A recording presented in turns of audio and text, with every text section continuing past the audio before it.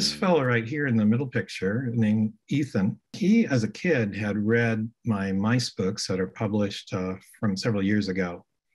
And so he asked me one time, Have you ever written any more books in that series? And I kind of was a little bit embarrassed because I thought, well, yeah, I have, but it's not published because it's just not good. It's just there was something wrong with it.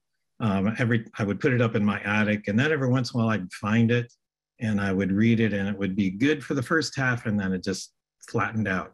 And it was because it didn't have enough chaos in it.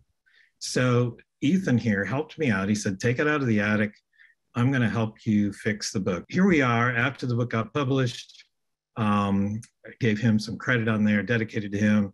And then I actually, when I released the book, and this is at TR Makers where I usually sell my books, a pirate actually happened to be in the parking lot. Now, how often does that happen? It was kind of cool. I who knew that would happen. So uh, it had kind of an interesting turn of events, but it took 15 years from the time I first wrote the book till the time it got fixed, and then I self-published.